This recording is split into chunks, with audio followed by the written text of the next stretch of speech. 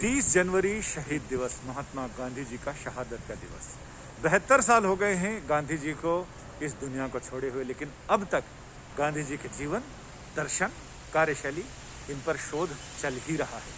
हमारे साथ अविनाश शुक्ला जी हैं, जिन्होंने गांधी जी के आखिरी 24 घंटे को लेकर एक पुस्तक लिखी है, जिसमें last day of Mahatma Gandhi यानी गांधी जी के आखिरी 24 घंटे कैसे थे उनके एक एक पल की खोज खबर इन्होंने अपनी पुस्तक में रखी है और इनसे हम बात कर रहे हैं।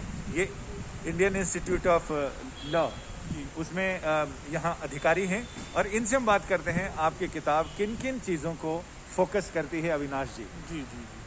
जी इसमें मेरा जो फोकस एरिया था वो था कि महात्मा गांधी के जीवन के आखिरी 24 घंटे कैसे गुजरे और वो उनमें क्या गतिविधियाँ रहीं क्या क्या निर्णय उन्होंने लिए और वो निर्णय क्या थे?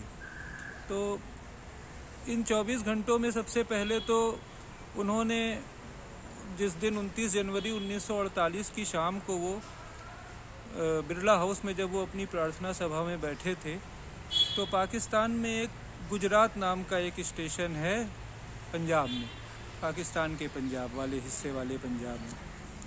वहाँ पर एक बन्नू जगह का नाम है, जहाँ से बन्नू बिरादरी के कुछ लोग दंगे से बचने के लिए मारकाट हो रही थी, बहुत दंगे फसाद हो रहे थे तो वो बचने के लिए भारतीय सीमा की तरफ़ भाग रहे थे।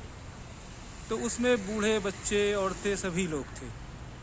तो दंगाइयों ने घात लगाकर हमला किया और उनका बुरी तरह से उनका नरसंहार किया औरतों बच्चों, बूढ़ों किसी को नहीं छोड़ा। उनमें से कुछ लोग बचते बचाते महात्मा गांधी की सभा तक पहुँच गए थे और ये उनतीस जनवरी की शाम को जो प्रार्थना सभा हो रही थी बिरला हाउस में उसमें वो लोग भी थे। महात्मा गांधी उनकी हालत देखकर बहुत दुखी हो गए और उन्होंने कहा कि उनमें से कुछ लोगों ने महात्मा गांधी को जिम्मेदार ठहराया। उन्होंने कहा तुमने बहुत हमारा नुकसान कर दिया है। तुमने हमें बर्बाद कर दिया है। तुम हम लोग तुम चले जाओ हिमालय चले जाओ अब तुम यहाँ मत रुको।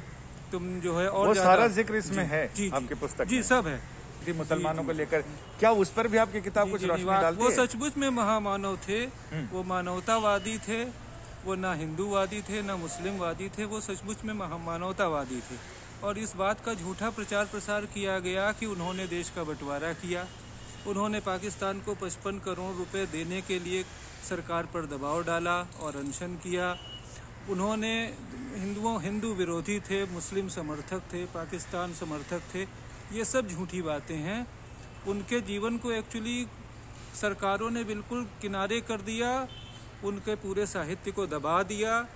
राजघाट में कुछ लाइब्रेरीज में उनकी किताबें, जैसे द लास्ट फेस वगैरह, कितनी इम्पोर्टेंट किताबें। लेकिन वो कुछ लाइब्रेरीज तक में पढ़ी हैं, किसी बुक स्टॉल में आपको नहीं मिलेंगी। और बहुत सी उन्होंने जो खुद किताबें लिखी, वो कहीं नहीं देखने को मिलती। उनका साहित्य बिल्कुल गुमनाम कर दिया गया बस दो अक्टूबर और तीस अगस्त को उनको एक वो दे दी जाती श्रद्धांजलि और एक सभा कर दी जाती है। इसीलिए ये तमाम भ्रम की बातें फैलाई जा रही और गांधी जी का इन सब बातों से कोई संबंध नहीं शुक्ला जी आपकी किताब ये भी बताती है कि गांधी जी को शायद अंदेशा था कि उनके साथ कुछ ऐसा हो जी सकता जी है। जी बिल्कुल था। और उन्होंने अपने अंतिम दिन 24 घंटे के भीतर इस बात का कम से कम पाँच बार ज़िक्र किया कि मैं मुझे गोली मारी जा सकती है।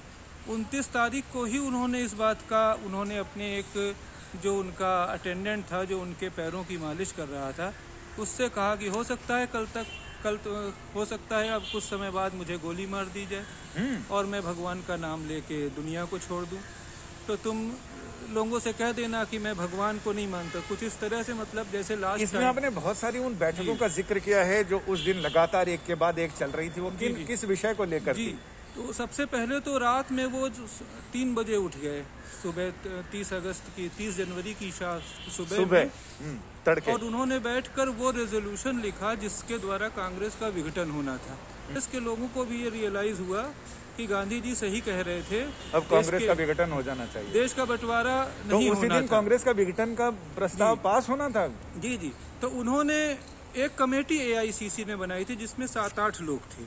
उनके सबके नाम भी मैंने इसमें दिए हैं चैप्टर सेवन में। हम्म। इस कमेटी में थे जो लोग उनके नाम मैं आपको बता देता हूँ। वन सिक्सटी सेवन एक मिनट।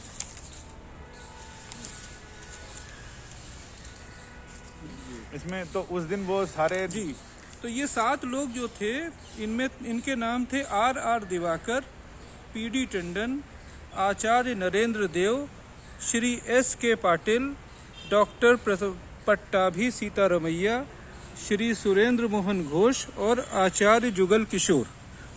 ये सात ये सात लोगों की एक कमेटी बनी थी जिसे कांग्रेस को पॉलिटिकल आउटफिट से समाज सेवी आउटफिट में बदलने के लिए कांग्रेस के कॉन्स्टिट्यूशन को बदलने का काम दिया गया था। अच्छा। जी।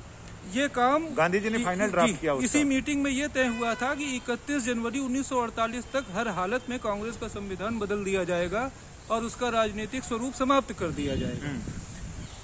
जब ये लोग नहीं बना पाए कोई रेजोल्यूशन तो ये लोग 27 जनवरी को महात्मा गांधी से मिले बिरला हाउस में हम्म। और कहा बापू आप ही लिखवा दीजिए क्या लिखवाना है हम लोग कुछ ज़्यादा इसको कर समझ नहीं पा रहे हम्म। तो गांधी जी ने कहा अच्छा मैं लिखवा दूँगा उन्होंने कहा मुझे एक दो दिन का समय दो।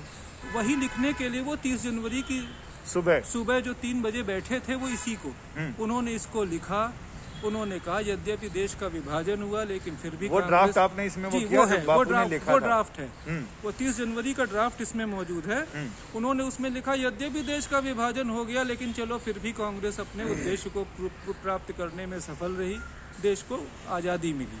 लेकिन अब कांग्रेस को अपना राजनीतिक स्वरूप छोड़ देना चाहिए। कांग्रेस जन गाँव गाँव में जाएँ गाँव के विकास में काम करें कॉटेज इंडस्ट्री के लिए काम करें लोगों को पढ़ाएँ उनको सफ़ाई के मायने सिखाएँ। लेकिन ये प्रस्ताव और सपना भी गांधी जी के साथ ही चला गया। ये प्रस्ताव उन्होंने सुबह अपने अपने पीए प्यारेलाल जी को दिया। हम्म। उन्होंने कहा देख लो इसमें कुछ गलती हो तो ठीक है। अदरवाइज़ इसको एआईसीसी भेज दो हम्म। और इस पर इसी आज तीस है और कल तक इसको एआईसीसी की इमरजेंसी मीटिंग में पुटअप होना है हम्म।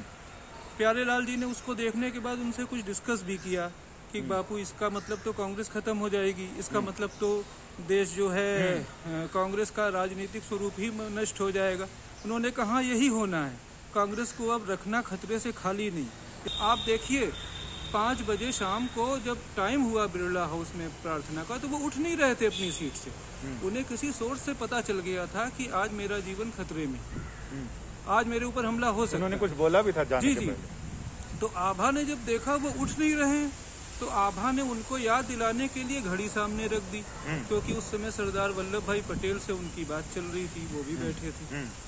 जब उन्होंने उसने घड़ी रख दी सामने की अभी घड़ी देखते इनको याद आ जाएगा कि मुझे पहुँचना है तब भी वो नहीं उठे वो बैठे रहे।